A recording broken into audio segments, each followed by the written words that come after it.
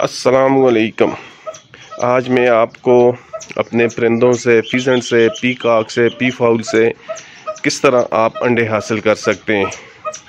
आपके पास सबसे पहले खुशक घास और ये क्रेट पेटी होनी चाहिए। इस तरह पेटी बना लें, उसमें खुशक घास डाल दें और इसका अच्छी तरह घोंसला अंदर से बना लें। और जब घास आप रखेंगे तो उस पर थोड़ा सा हाथ इस तरह लाएँगे घास बैठ जाए। इसके बाद आप इस पेटी क्रेट में डमी अंडे लाजमी रखें।